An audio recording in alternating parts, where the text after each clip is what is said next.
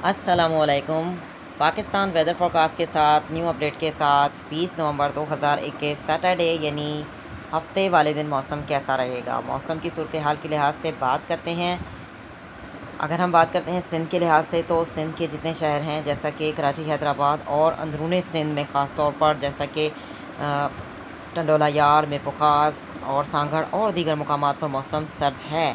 लेकिन जो दूसरी लहर दाखिल होगी सिंध में जो कि कल से दाखिल होगी, जिससे मुकम्मल तौर पर सर्दी जो है वो पूरे मुल्क में आ जाएगी।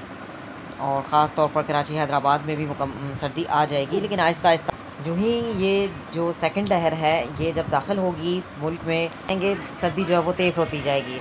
अगर हम बात करते हैं खैबर पख्तूनख्वा, गिलगित बल्तिस्तान और दीगर मकाम की, जैसे कि बलूचिस्तान और कश्मीर की तो मौसम खुश्क रहेगा, सर्द रहेगा। माली पंजाब की तो खुश्क रहेगा, सर्द रहेगा, स्मोक का सिलसिला जारी रहेगा फोक का सिलसिला जारी रहेगा।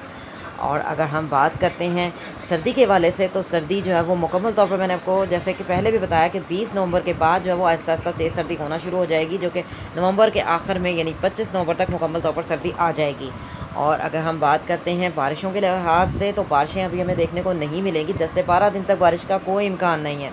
और अगर हम बात करते हैं कि बारिशें कब होंगी, अगर फोक और स्मोक ज़्यादा होती है तो वो तो हमें बारिशें देखने को मिल सकती हैं दिसंबर के शुरू में।